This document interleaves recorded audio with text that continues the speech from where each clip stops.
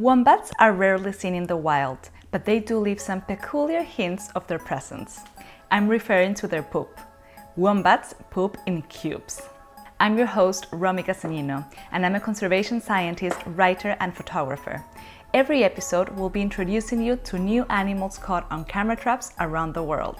Don't forget to subscribe to Mongabay to get notifications about our latest videos.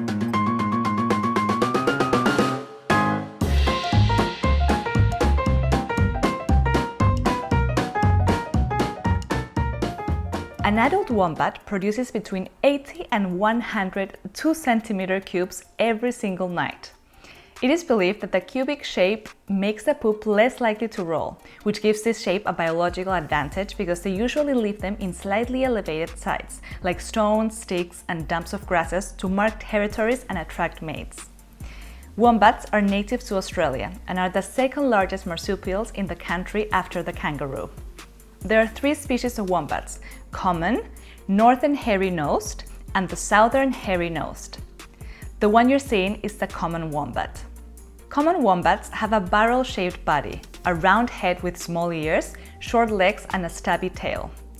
They weigh between 20 and 35 kilograms, and females are slightly bigger than males. Wombats are herbivores. They mostly eat grasses, sedges, herbs, barks, and roots. To make things easier for them, their incisor teeth resembles those of rodents that are adapted for chewing tough vegetation. Also, wombats' teeth never stop growing. Wombats have a very slow metabolism, taking around 8 to 14 days to complete digestion. This helps them survive in arid conditions where food is scarce.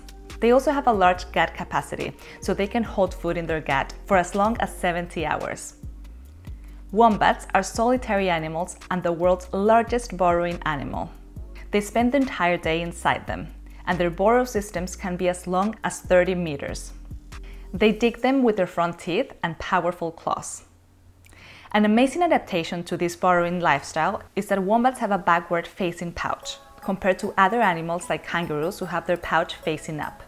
This means that the pouch where its baby, called a joey, spends its first five months is always protected from soil. The main predator of wombats are dingoes and Tasmanian devils. When attacked, wombats dive into a nearby tunnel, using their rumps to block the attacker, and if the predator manages to get inside the burrow, they use their powerful legs to kick it in the head against the roof of the tunnel, or drive it off with two-legged kicks, like those of a donkey. The biggest threats the species face are its small population size, predation by wild dogs, competition for food because of overgrazing by cattle and sheep, and disease. Thankfully, all species of wombats are protected in every Australian state.